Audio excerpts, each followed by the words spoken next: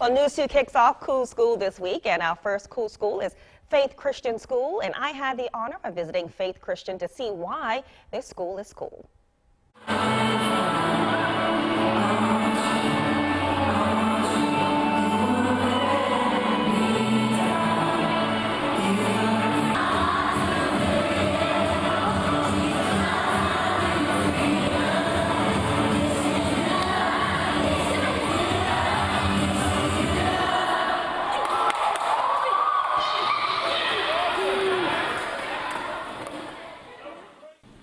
Everyone. We're here at Faith Christian School in Summerville. Faith Christian School is the News 2 Cool School of the Week, our very first for the 2018-2019 school year. We're so excited to be here. Right now, we're here at the school as they wrap up chapel on this beautiful day. And joining me now is the school's elementary principal. Tell us about what we just witnessed.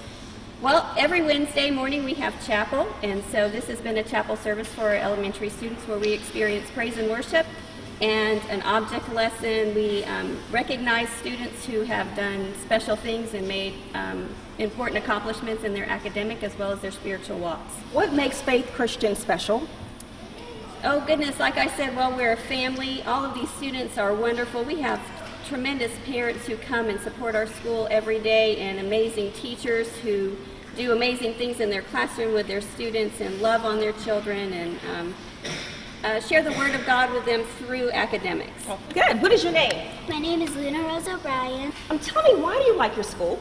I like it because we we get a good education and they always teach about God, which is the good thing because God is important in your life. Yeah. What else do you like? I like how they have nice teachers.